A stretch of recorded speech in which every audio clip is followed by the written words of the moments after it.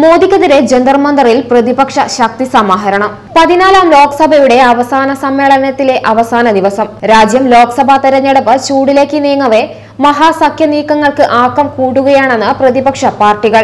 നരേന്ദ്രമോദി സർക്കാരിനെ താഴേക്കിറക്കുകയെന്ന ലക്ഷ്യത്തോടെ ഇത്തവണ രാജ്യ തലസ്ഥാനത്താണ് പ്രതിപക്ഷ കൂട്ടായ്മ. മഹാസഖ്യത്തിന്റെ മുന്നണി പോരാളിയായ ബംഗാൾ മുഖ്യമന്ത്രി മമതാ ബാനർജി ഡൽഹിയിലെത്തി. ഇന്ത്യ ഐക്യറാലിക്കായാണ് മമതയുടെ വരവ്. ജന്തർ മന്ദറിലെ സമരത്തെ മഹാസഖ്യം രണ്ടേ ദശാംശം പൂജ്യം എന്നാണ് പേരിട്ടിരിക്കുന്നത്. ഡൽഹി മുഖ്യമന്ത്രിയും ആം ആദ്മി നേതാവുമായ Arvind Kejriwal B J P വിരുദ്ധ റാലിയുമായി അരങ്ങിലൊരുക്കി മുന്നിലുണ്ട്. ആന്ധ്രാപ്രദേശിന് പ്രത്യേക പദവി ആവശ്യപ്പെട്ട് മുഖ്യമന്ത്രി ചന്ദ്രബാബു നായിഡുവിന്റെ നേതൃത്വത്തിൽ ഡൽഹിയിൽ കഴിഞ്ഞ ദിവസം നടന്ന ഉപവാസ സമരം ധർമ്മ പോരാട്ട ദീക്ഷയും പ്രതിപക്ഷത്തിന്റെ കൂട്ടായ്മയുമായിരുന്നു. കേന്ദ്ര സർക്കാരിനെതിരെ ആന്ധ്രാഭവന് മുന്നിൽ നടത്തിയ ഉപവാസ സമരത്തിന് പിന്തുണയുമായി രാഹുൽ ഗാന്ധി ഉൾപ്പെടെയുള്ളവരാണ് എത്തിയത്.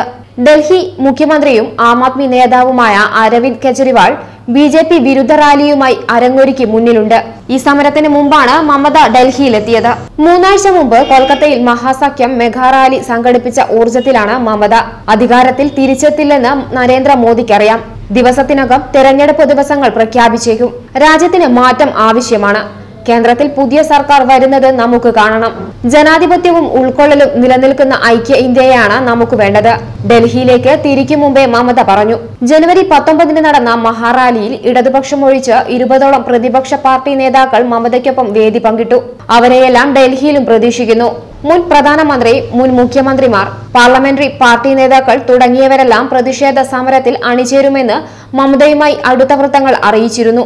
പാർലമെന്റ് സമ്മേളനം ഇന്ന് അവസാനിക്കുന്നതിനാൽ വിവിധ പാർട്ടികളിലെ എംപിമാർ ഇന്ന് സമരവേദിയിൽ എത്തുമെന്നാണ് തൃണമൂൽ കണക്കാക്കപ്പെടുന്നത്. അന്വേഷണം ഡോട്ട് കോമിന് വേണ്ടി അനുശ്രീ വത്സൻ